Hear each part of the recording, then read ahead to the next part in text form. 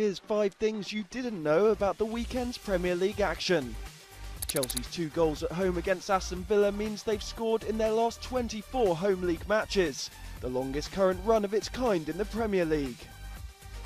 Yohan Cabaye is now the fourth player in the league's history to score from the spot in four straight games, joining Ian Wright, Ruud van Nistelrooy and Michael Owen.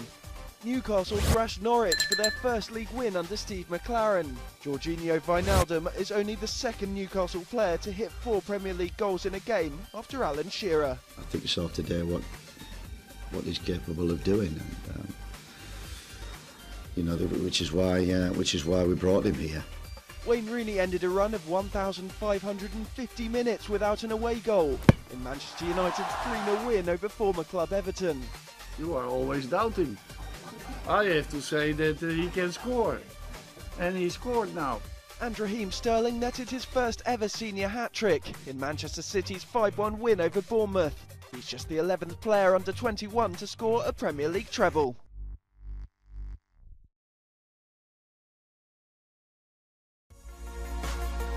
Real Madrid legend Raul has finally announced his retirement, bringing his illustrious playing career to an end at the age of 38.